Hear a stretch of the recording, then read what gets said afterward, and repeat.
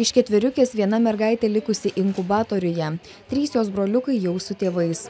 Kauno klinikų gydytojų teigimu tai sveikiausias ir ilgiausiai išnešiotas ketvertukas gimdymas prasidėjo aštuntą mėnesį.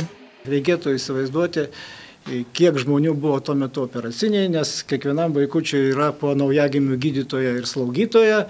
Na, dar mes trys brigada, dar anesteziologai tenais irgi ne vienas, taip kad instrumentatorė, tai apie 20 žmonių mes tenais žodžiu, tuos pasitikinėjom gyvenimo keturis naujosius piliečius. Nu, malonu ir tai, kad tai atsitiko esant Lietuvos šimtmečiui. Taip kad čia šimtmečio ketvirtukas. Du broliukai identiški dviniai. Mergaitė gimė didžiausia, svėrė kiek daugiau nei 2 kg.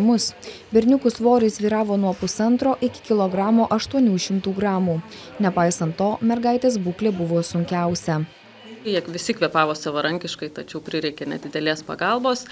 E, šiuo metu visi broliukai jau kvepuoja patys ir jiems pagalbos nebereikia. Sesutė išlieka su nedidelė pagalba. E, visų būklės yra pakankamai e, geros, bet dar laukia pakankamai ilgas kelias iki tol, kol jie galės sėkmingai keliauti į namučius.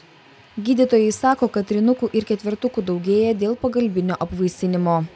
Jeigu kalbėti apie mm, Europos išsivyščiusias šalis, tai daugiavaisis neštumas yra didžiulė rizika ir labai smarkiai džiaugtis nėra ko, nes tai rodo, kad mes ne visais atvejais suvaldome situaciją ketvertuką pagimdžiusiai moteriai virš trisdešimties. Ar jai buvo atliktas pagalbinis apvaisinimas neatskleidžiama.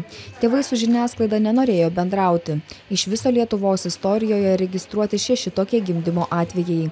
Reporterė sandra kindiuk kaunas